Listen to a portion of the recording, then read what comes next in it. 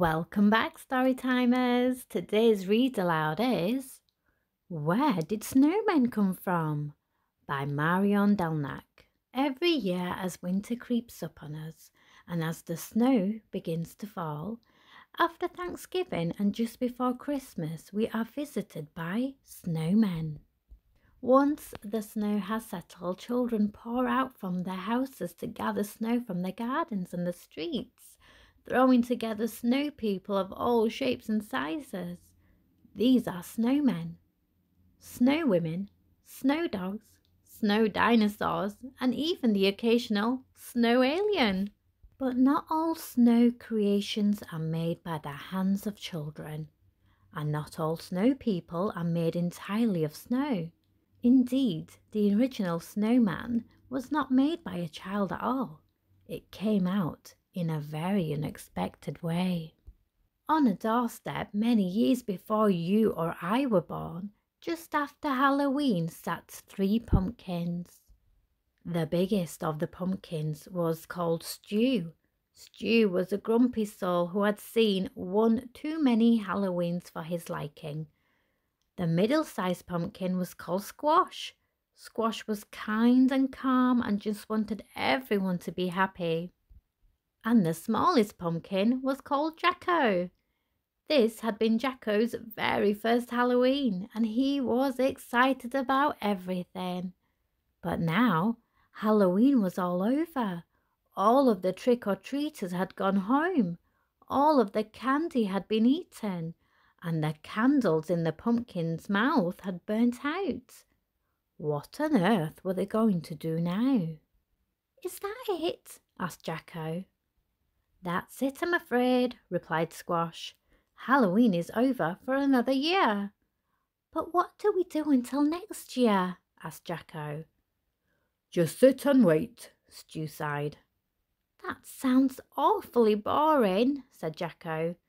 That's because it is boring, said Stew, rolling his eyes. So back into the house they went, and in their cupboards they sat, they watched as their family went about their lives for days and days until Thanksgiving. The pumpkin watched as their family celebrated Thanksgiving. There were games, there was music, they watched the parade on the street, and the house was full of fun, friends, and fantastic smells. I want to join in, can I? Can I? replied Jacko excitedly.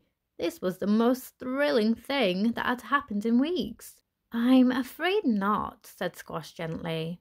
Thanksgiving is not for us pumpkins, said Stew bluntly.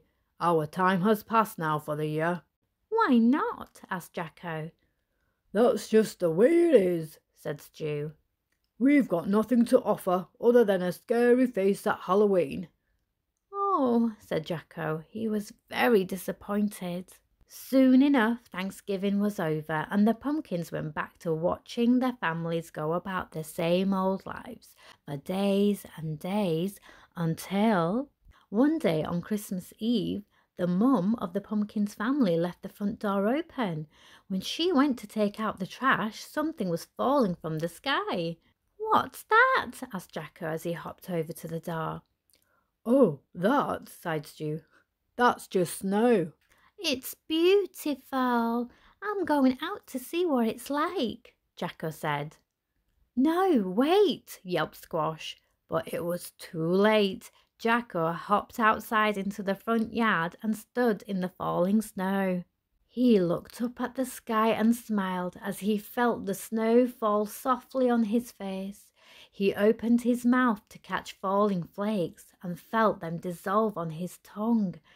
He thought this was the best thing ever. You can't be out here, said Squash as she hopped over.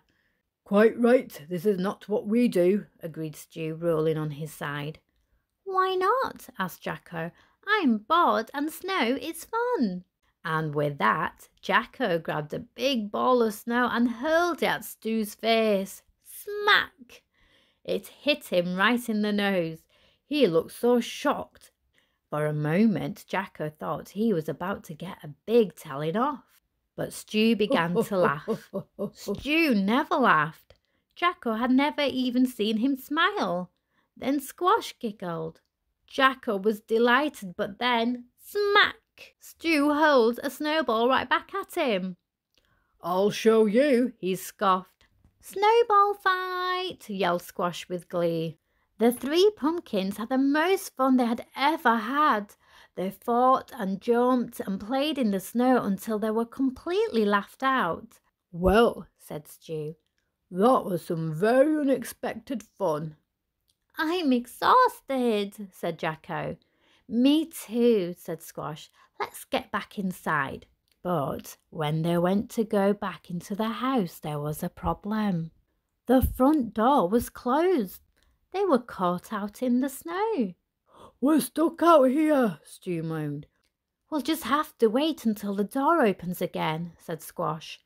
That's annoying, said Jacko. How about I sit on top of you both to make sure I have a good view of the door? We don't want to miss it opening again. Good idea, agreed Squash. And so, in the front yard, in the falling snow, Squash climbed on top of Stew and Jacko climbed on top of Squash. They waited patiently for the door to open again. The door opened again, but not until the next day, Christmas morning. And when the mom opened the door, it was not three pumpkins that she saw, but something quite different. Hey, everyone, she called to the family. Come and see this. What is it? Asked the dad. It looks like a man made of snow, said the boy. A snowman. And indeed, what they saw looked like a snowman. The heavy snow covered the three pumpkins completely. The wind had blown some twigs towards them, sticking to their sides to resemble arms. Jacko's tiny face could be seen poking through the whiteness. And so the snowman was created.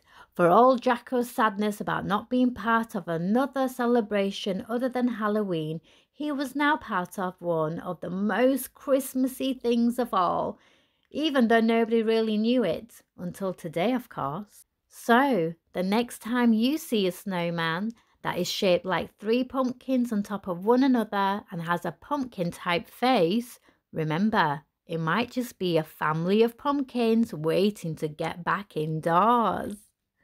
Thank you for listening and don't forget to like and subscribe and I'll see you next time. Bye bye.